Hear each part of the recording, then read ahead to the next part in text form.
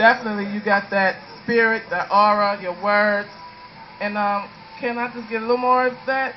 can you do another piece? Yeah. Don't we want to hear another piece, y'all? Please. She's so busy. You got a minute?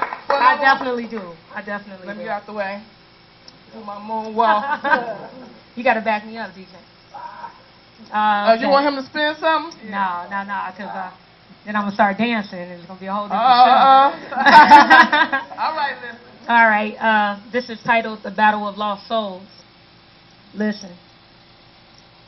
This is the battle of lost souls when you've been given directions but still can't find your way home.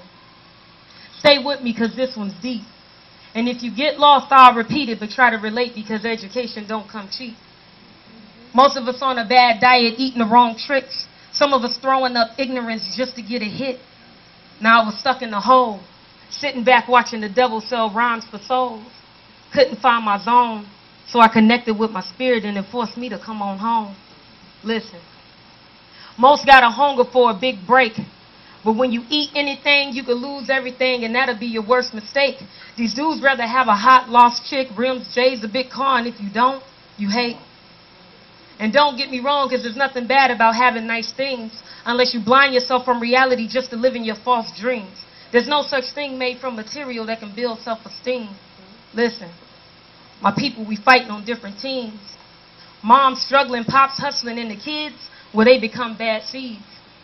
And we can't just throw the blame on our men, because half of them don't know that to grow, they supposed to have a plan. Stop focusing on being real, because real is automatic when you choose to become a man.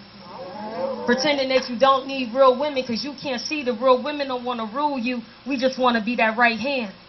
And ladies, trust if it ain't happened by now, it ain't him. It's the fact that you need to realize that he's temporary and you ain't supposed to marry that man.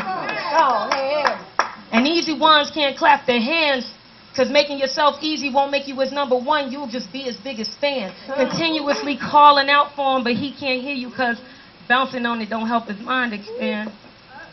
He needs you to provide support, honestly respond, and understand that he's high in demand. Listen, it's sad to see my queen step down. To watch us build ourselves up for him to come in and execute the easy breakdown. Make him do more than run his game for the easy touchdown. Realize that what we have, they can never get. And feed them your mind because the hunger for knowledge is permanent. Not that sweet meal we feed them before it's big hit. Mm-hmm. And to those of us that's strong, we think it's easier when we keep the attitude of just leave me the hell alone. But the Lord wouldn't have us in a world full of people if we were meant to be here alone.